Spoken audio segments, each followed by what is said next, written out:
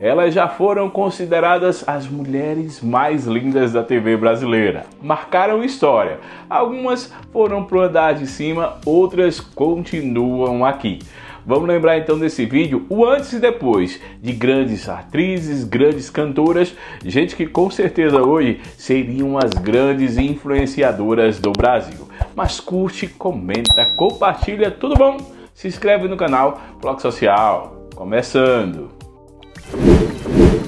Oi, gente, e aí? Vamos lá conferir as mulheres mais lindas dos anos 70 e algumas dos 80 do Brasil. Se liga no vídeo, se inscreve no canal. Oi, gente. Vamos começar pelas atrizes que já partiram e eram lindas. Jacqueline Lohans era francesa e estreou novelas como Dancing Days, Que Rei Sou Eu, faleceu aos 91 anos de idade em 2024.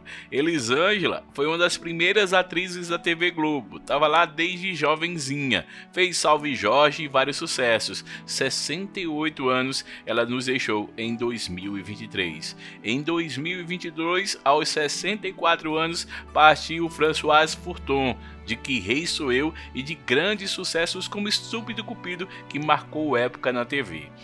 Susana Faini fez Dancing Days e Elas por Elas nos anos 80 e vários sucessos. Partiu aos 89 anos de idade em 2022. Ilka Soares, de A Rainha da Sucata, de Elas por Elas e muitos sucessos. Partiu aos 89 anos de idade também em 2022.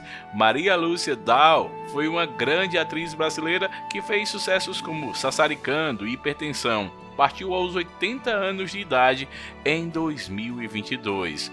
Maria Fernanda gravou poucas novelas na TV Globo, mas fez muito sucesso principalmente nos anos 70. Partiu aos 93 anos de idade em 2022. A nossa linda Mila Moreira diz sucessos como Que Rei Sou Eu, O Salvador da Pátria, Plumas e Paetês e grandes sucessos, 75 anos 2021. Eva Vilma, de Mulheres de Areia, de Altiva, de A Indomada, partiu aos 87 anos em 2021. Tá brilhando e encantando no céu. Teresa Amaio foi super linda a vida inteira. Brilhou em sucessos como Gabriela, 88 anos 2022, lá foi brilhar no céu. Ruth de Souza foi vencedora, uma das primeiras atrizes negras do Brasil a ter realmente relevância, no 89 anos de idade em 2019.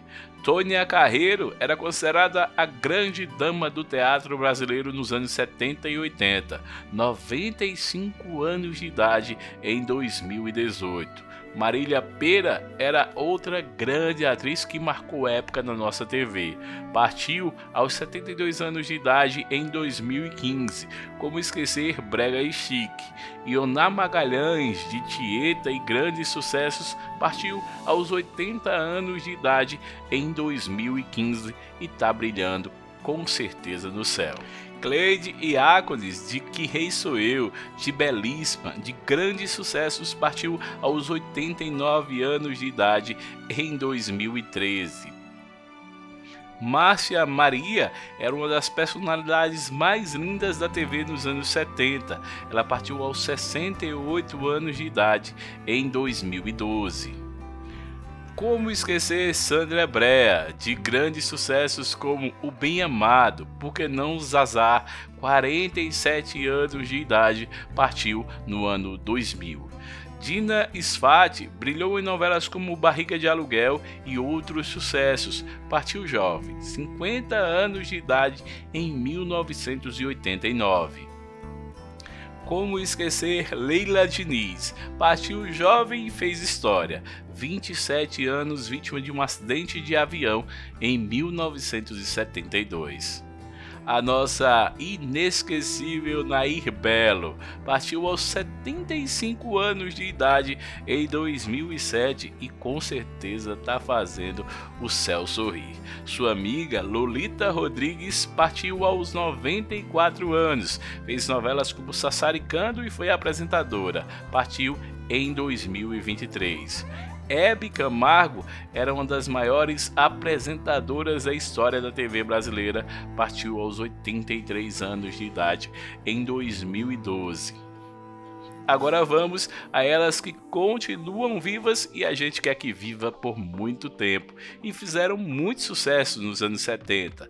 Betty Faria, como esquecê-la em Pecado Capital, e a primeira versão de Rock Santeiro, a eterna Tieta do Agreste. Tem também Vera Fischer, que brilhou em Riacho Doce, por que não Mandala, uma das mulheres mais lindas de todas as novelas brasileiras. Chegamos a Elizabeth Savala, de pai herói e de grandes sucessos como Chocolate com Pimenta. Na nossa lista, outra grande atriz, Regina Duarte, nos anos 70, em Selva de Pedra, ganhou o título de Namoradinha do Brasil. Na nossa lista, Sônia Abrão, de Gabriela, de Dancing Days e de grandes sucessos da TV Globo. Hoje está brilhando lá nos Estados Unidos. Nossa René de Vilmont fez grandes sucessos na TV Globo, recentemente em Paraíso Tropical e grandes sucessos. Brilhou muito nos anos 70. Bruna Lombardi era com certeza aquela atriz que fazia todo mundo babar na frente da TV nos anos 1970. Nívia Maria, então, uma carreira de muito sucesso. Hoje, com mais de 70 anos de idade, continua brilhando muito. A nossa linda Maite Proença, lá nos anos 1970, era jovem, mas já dava seus primeiros passos na TV. Como esquecê-la em Sassaricando, por que não Felicidade? Cláudia Arraia brilhou em rock santeiro nos anos 80, mas seus primeiros passos na TV e no teatro foram lá nos anos 1970. Cristiane Torlone é uma das atrizes que mais marcaram novelas da TV. Que tal A Gata Comeu? Por que não Fina Estampa? Quem sabe Selva de Pedra? Foram muitos os sucessos. Roberta Close fez poucas novelas, mas nos anos 70 e 80 o Brasil babava por ela. Já nos anos 70, Leandra não tinha nascido, mas Ângela Leal já era uma competente atriz e deixava muita gente impressionado com o talento e com a beleza. Natália do Vale fez grandes novelas da Globo. Quem sabe você lembra em Que Rei Sou Eu ou outras novelas. Desde os anos 70, ela brilhava em várias novelas do Plim Plim. Marieta Severo estava na TV desde os anos 1960. A eterna Nenê marcou a história da nossa TV em muitas histórias. Xuxa Meneghel estava dando os primeiros passos nos anos 70, mas nos anos 80 se tornou a rainha dos baixinhos e até hoje, com mais de 60 anos, conquistando o Brasil.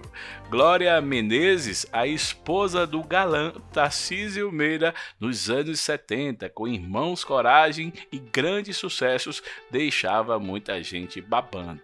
Lídia Bronde estreou bem jovenzinha nos anos 70 na TV em sucessos como Dancing Days. Abandonou a TV em 1990 em Meu Bem Meu Mal. Quem está longe da TV é Sura Berdichevsky, mas nos anos 70 e 80 fez vários grandes sucessos como Sol de Verão e tantos outros. Glória Pires estreou bem jovenzinha lá na TV Globo. Foram muitos os sucessos como Dancing Days, mas ela marcou a TV em Mulheres de Areia. Teve outro sucesso? Me conta. Pepita Rodrigues formou um dos casais mais desejados da TV brasileira. Com Dolabella pai e Dolabella filho, ela formou uma família realmente linda. Joana Fon marcou a história da nossa TV com sua Perpétua em Tieta ou várias personagens como Dancing Days. Hoje tá querendo voltar à TV com mais de 80 anos. Beth Mendes sempre foi muito talentosa no humor e do drama. Hoje tem mais de 70 anos e ainda quer trabalhar muito. Chegamos então a Maria Cláudia, que está afastada da TV, mas continua linda como sempre, esbanjando muito glamour e beleza. E aí, qual delas marcou sua história ou qual delas fez mais falta para você? Me conta que eu quero saber. Deixa sua mensagem. Bloco Social. Tchau, tchau.